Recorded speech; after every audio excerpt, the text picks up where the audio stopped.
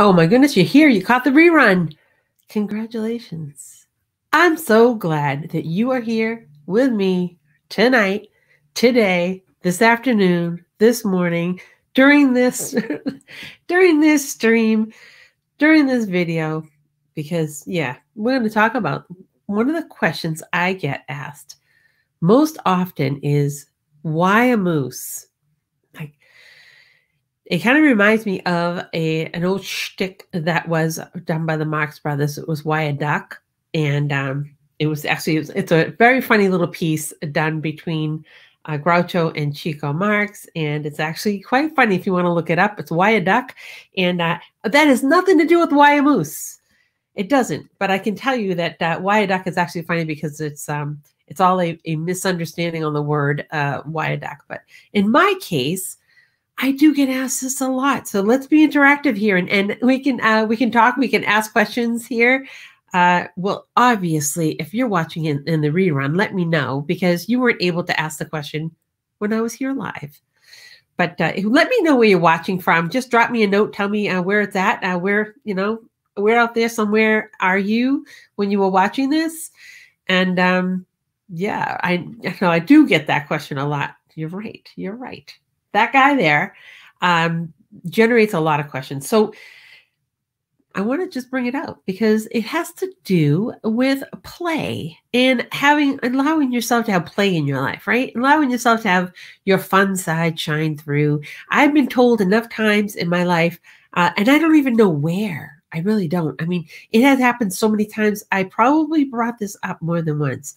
Uh, I was told more than once that I needed to tone down my my humor, uh, tone down my energy. I was too much for some people. Uh, I actually was told literally the reason I couldn't find um, um, guys wouldn't date me um, in my life at one point was because I intimidated them because my wit was too strong. So, um, yeah, imagine that.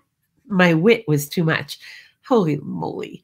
Anyhow, so when you're told that somewhere along the line, when you're told that you you you really shouldn't play around so much, you shouldn't be so goofy or playful, uh, somehow it sticks in your mind that you're afraid to let go of you know you know, your business sense, if you will, or your professional sense, or uh, your adult sense, you know, and, and allow that play side to shine through because people will think that you're not serious or they'll think that you're uh, less than um, I guess less than qualified, I suppose is the word I'm looking for, but you, you lose credibility, you know? And it, let me just back this one up, folks. Let me just back this up for you, my friend.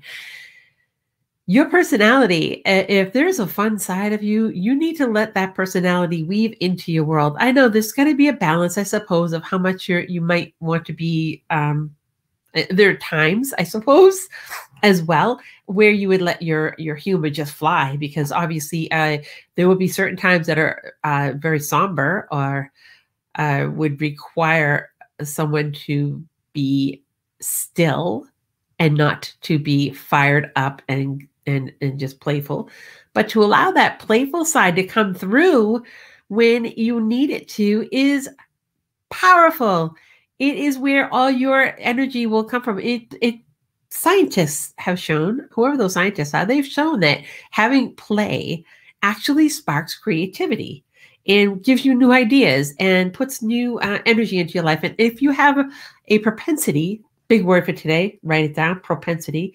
If you have a propensity to uh, to be lighthearted and you're not allowed to do that, uh, whether it's your own self not allowing it, um, either way, it's stifling and it will cause you to have a blockage in your creativity and your expression. So, why a moose?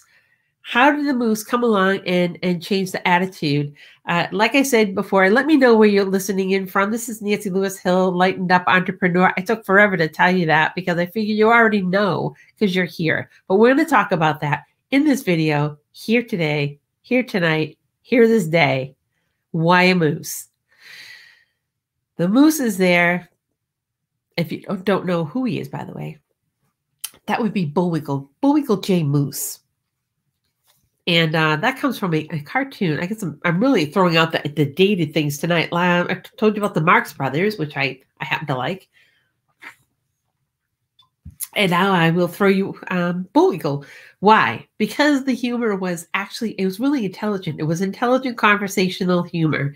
So the banter was great. And I grew up really enjoying intellectual humor. And fast forward that to me being a mom and having kids uh, that knew that I was goofing around and knew that I liked Bullwinkle.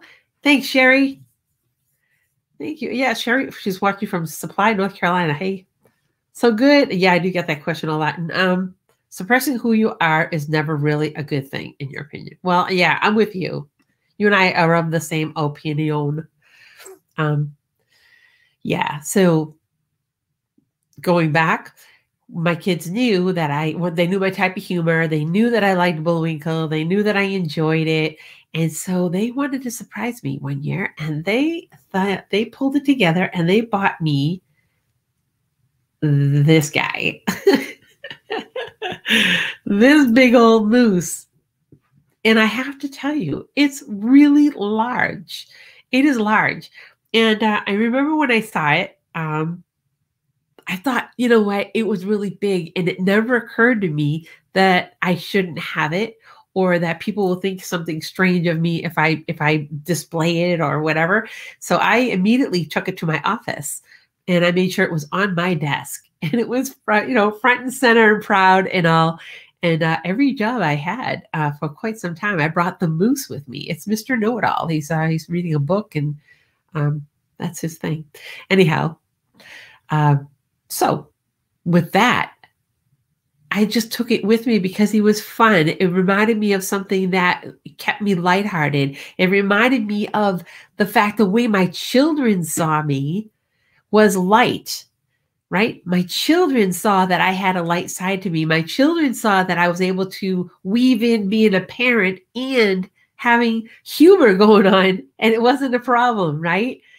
So I thought I need to be reminded of this, that not to let this slip away, not to let this pack up and be shoved off uh, in a donation center because this this means something. This says to me when I look at it and I and it's in the the side view often, it reminds me that it's okay that people know that I have a good sense of humor, that I enjoy a good sense of humor, uh, and that I'm confident to allow my humor to shine. So, why is that important? Because if you're going to be in a community anywhere, right? You have to be able to be comfortable with letting who you are shine out. Otherwise, if you stifle it, people don't get to know you in that community, right? So you when at that point you're not really engaged, you're not really interacted.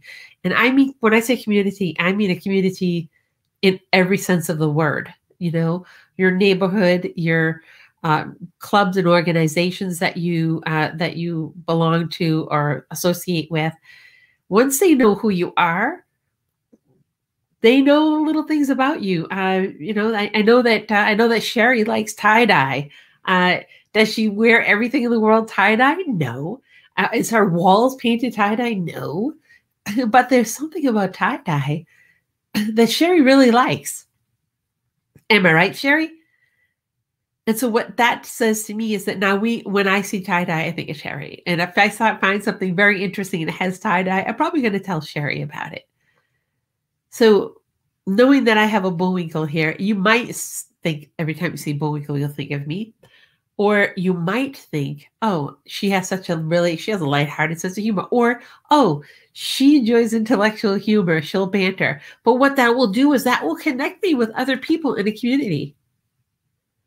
Do you see that? How that works?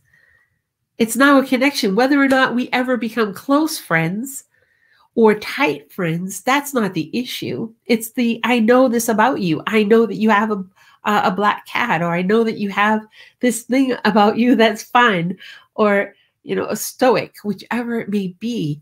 And uh, I hear tie dye. See, that's my point. That is exactly my point, Ellen. Right? It doesn't matter what we're talking about. You're like, oh, this must be this, you know? And Ellen, I have a few for you, but uh, yeah, I like the Zimble. I think of things there's a few things I think of with you. It's so good. I, it's funny, interestingly. Um, I know, go Tigers, right? It's like LSU. I think about you for uh, the football world, but I also every time I think about New Orleans and parades, I'm always thinking about you. Uh, so it's it's actually an interesting thing, though, right? So when we allow ourselves to actually be seen, when we allow ourselves to have that fun side of us, when we allow that side of us that um, we're, we don't care that somebody uh, may or may not like it or doesn't think that it's it's what it is and it is you know it's part of your brand right in your sense so it's part of uh, your brand is who you are right? Your brand is you. It's how it is and you got to let it fly. I have a very playful personality. I have um i like quick-witted banter. I enjoy it. I like engaging people in conversation. Uh I, you know, what's one of those things that I love to do is I love to create experiences for people um, to help facilitate an experience for people. It should really be how I want to say that, right? Um, and that's how it is. I just wanted to share it. So, why the moose? That's why the moose, folks. It was a gift from my kids and I think that they were just tickled pink because they they saw a big stuffed bullwinkle and thought, "Oh my gosh, my mom would love this." And uh, maybe some other people might have said, um, might have said, "Well, yeah, she's too old. Don't get her a, um, don't get that. Why don't you get her a, a necklace?" and I couldn't have been happier, honestly. And we're not talking about my children. This was not last year. Did I did I leave that part out? this was not last year. This, honestly, I wish I could guess. I'm going to guess it had to be a long way back. A long way. We're talking decades. But he's still here with me and I still take him places, uh, you know, like he's in my background, he's uh, on my shelf. So uh, it is more fun to be who you are than to try to fulfill some kind of a thing that you think you're supposed to be. Uh, so yeah, yeah. If I have any questions for me, go ahead and shoot them out because uh, I am I am an open book tonight. Um, so parades remind you of Ellen as well. Uh huh. Yes. Isn't it funny? It's the um, you know, the whole uh, Good Friday, well, Fat Tuesday, all the events that you guys have. It's pretty cool um, being where you are. And, and oh, I just always think about you. So yeah, yeah, yeah. Um, but uh, definitely, I, am I'm, I'm gonna ruin it by saying go, but it's uh, it's. Can I type it? G. I love the way you do it. I'm gonna put it in there, see if it shows up. It's gonna show up in the. Oh, there it is. Perfect. I wasn't sure if it would pop up and populate, but there you have it. Uh, so yeah, let me know uh, let me know where you tuned in from. Let me know whether this resonated with you. Do you let your fun side come out? Do you allow yourself uh, some play in your life? Whatever that is, it doesn't, like, you're not me. I'm not pizza. You're not me. So be, the fact that you're not me means that you don't have to have the level of humor or playfulness or style as me. You have to have yours. But do you allow yourself to play? do you allow yourself to have that space where maybe you have your bullwinkle, uh, you know, quote unquote, you have your bullwinkle. Um, and, and what is it in your bullwinkle life that allows you to remember to play, reminds you to go ahead and be silly, and remind you to be go ahead and be a little kid. And I'm going to tell you, I brought it up especially because we're heading into the holiday season at the time of this video. Um, and the whole holiday season can take you to uh, the feeling of playfulness as well. And not that it was always a great holiday season for all of us, but uh, we are surrounded by the ideas uh, of perfect holidays, which then don't necessarily mean they existed. Find a way to play. Find a way to play. If it means watching a movie that just you're thinking to yourself, this movie has absolutely no redeeming value, then go ahead. go ahead. If it means watching somebody be interviewed for an hour and 20 minutes, um, and it's nonsense, and you're just like, you know what? I just feel like doing this. Go right ahead. Um, it is go. Okay. It's pronounced like y'all say go. I'm an official LSU super fan. This is what I know about you. I know. You have the news. Oh my goodness. You have the newspaper front page that says that you are an LSU super fan. I didn't know that. I didn't know that. I knew you were, you always put the go Tigers. So, uh, so yeah. And that's your play space, right, Ellen? I mean, that's your place where you can like let go and just be all all LSU and, and and cheering about it. And yeah, I love that. I love it. And uh, I don't know. I hope you never ever lose that energy. If you're watching this and you're saying to yourself, I don't have that space, I don't have that playtime. It's not uncommon. It's not uncommon. That's not to say that you're running the mill, but it's not uncommon to not have that space where you feel comfortable playing. And I'm going to encourage you to tap into that, to find that little space that just says, This is my fun thing that I do. And it's silly and it's goofy. And um, I don't know if I want everybody to know about it. If that's fine. But you know what? Eventually, I'm going to encourage you to let that seep out a little bit. Let people see you playing. Let people see you letting loose because that's actually where it's the most fun is when it does you don't have to hide it. You don't have to put your superman costume in the closet. Um, so not much to cheer about this year. Well you know i know. A you can't be there in person right? And b it's just oh, i know. Hey ellen wayne's still getting over the fact that tom brady went to tampa so which is a whole other thing right? That's his his fun thing but um we always have last year, and it was special. Yes. I want to see that. And you have to post a picture of that. See, this is what I'm talking about. Let people get to know you. And, and Ellen, you do. I'm not saying you don't, but oh my gosh, did you ever post a picture of that front page? The LSU super fan? Oh my gosh, you should so do that. so hope we get to parade sometime in the future. Ugh, you may not in 2021. I know. So many things have changed. So many things were adjusted to. We will get through it. We will. I just want to remind you one more time to just go ahead and play. Go ahead and embrace that little piece inside of you. There's a little kid inside of you that still wants to play with something that somebody said you're too old for that now. And I'm going to encourage you to bring that side of you out. Um, so now you know a little bit about me. I enjoy the Marx Brothers. I enjoy the fast-witted, uh, the fast-witted dialogue between the Marx Brothers, and uh, I like the intelligent humor of Bullwinkle. Um, I love the ballet, and uh, you thought about you thought about Wayne when the Saints beat Brady. I'll have to let him know. yeah, he said he was terrible. He was terrible. So, uh, so much for that. All right, y'all. Enough chit chat, patty whacking. We got to move on. But um, I want to also invite you, uh, if you're watching this and you're intrigued and say, well, I'm not sure if I really don't know what this chick's all about.